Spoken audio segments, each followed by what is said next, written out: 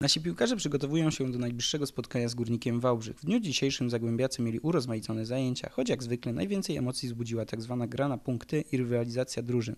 Oprócz siatkonogi nie zabrakło konkursu stałych fragmentów gry i co ciekawe gry w siatkówkę, która po wywalczonym przez biało-czerwonych Mistrzostwie Świata zbudziła największe emocje. Po treningu porozmawialiśmy z Tomaszem Szatanem, który w ostatnich meczach był wyróżniającą się postacią naszej drużyny. Tomku, za wami e, dwa dobre spotkania, ale na pewno niedosyt, bo e, zasłużyliście i chyba liczyliście na e, dwa zwycięstwa. Tak, um, duży niedosyt. y, No, myślę, że nie ma już się chyba na tym co rozwodzić, co się wydarzyło w Rybniku. Wiadomo jaka była sytuacja, sędzia nas skrzywdził. Zabrał nam e, dwa punkty tak naprawdę zawodnika i, i czas, który mieliśmy do końca meczu. W tym ostatnim meczu, no już też ostatnio się wypowiadałem jak było, multum sytuacji. Tak jak mówiłem, brakło trochę piłkarskiego farta, no bo już niewykorzystany rzut karny i, i, i, i tych kilka sytuacji. Tak się ułożyło. E, Środek pola zaczyna coraz lepiej funkcjonować. E, Widać, że z meczu na mecz e, coraz lepiej się czujecie, no i coraz więcej sytuacji kreujecie. Dokładnie, tak to wygląda. No, generalnie złapaliśmy, myślę, teraz jakąś stabilność. Jest forma w drużynie, tylko jedyne czego brakło, gdzieś to udokumentować y, trzema punktami w jednym i drugim spotkaniu. Tak jak mówię, mamy niedosyt, y, jedziemy głodni na Wałbrzych, żeby zdobyć trzy punkty.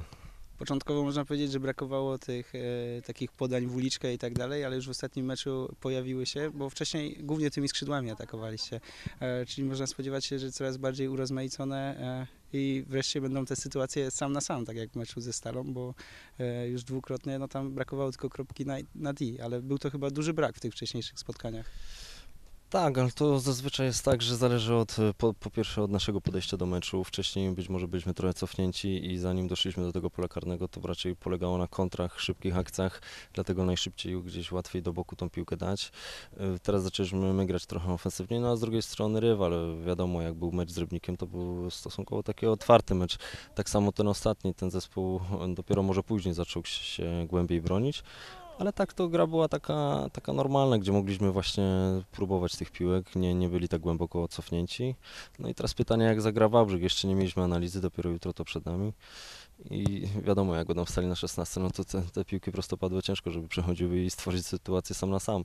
No ale liczę na to, że oni też potrzebują punktów na gwałt tak naprawdę i myślę, że muszą zagrać w miarę otwarcie z nami. No właśnie potrzebują punktów, czyli taki niewdzięczny rywal, bo zawsze e, te drużyny z dołu tabeli, które nie mają punktów, mobilizują się na te mecze z Zagłębiem, no i przez to e, też psują trochę ten obraz gry, bo wam się ciężej gra, tak, gdy jest ten przysłowiowy autobus postawiony w polu karnym, albo e, właśnie jest duża agresja na, na placu. No, Duża agresja, no to jest akurat pozytywna cecha każdego zespołu. Jeśli jest duża agresja, to jest, to jest pozytyw.